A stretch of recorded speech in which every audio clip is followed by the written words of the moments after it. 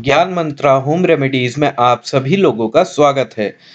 आज हम आप लोगों को बताएँगे कि अगर आप अपने रसोई में गाय को रोटी बनाकर खिलाएँगे तो उससे आप लोगों को क्या फल का प्राप्ति होगी? गाय को लेकर भी हिंदू धर्म में ऐसे पौराणिक मान्यता है कि घर में बनी पहली रोटी गाय को ज़रूर खिलानी चाहिए है। ज्योतिष के जानकारों के मुताबिक, खाना बनाते वक्त हमेशा पहली रोटी गाय के लिए बनानी चाहिए है। इसके बाद ही परिवार का कोई भी सदस्य रोटी या कुछ भी खाना खाए। कोशिश करनी चाहिए है कि गाय की उस रोटी में थोड़ी सी हल्दी भी मिला दें। इससे गाय को रोटी खिलाने का अपार फल मिलता है।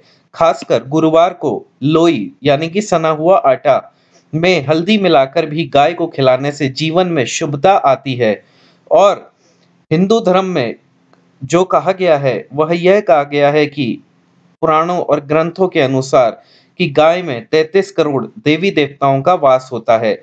इसलिए रोज एक रोटी गाय को खिलानी चाहिए है। इससे सभी देवता प्रसन्न होते हैं। व्यक्ति की हर मुराद पूरी होती है और इससे व्यक्ति के परिवार में खुशियों का वास होने लगता है।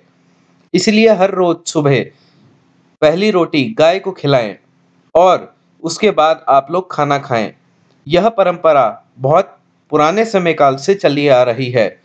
मान्यता है कि ऐसा करने वाले लोग जीवन में लौकिक और अलौकिक दोनों फलों का प्राप्ति करते हैं। अभी के लिए बस इतना ही। अगर आप और ज़्यादा जानकारी चाहते हैं तो हमारा चैनल ज्ञान मंत्रा होम रेमेडीज सब्सक्राइब कीजिए। धन्यवाद।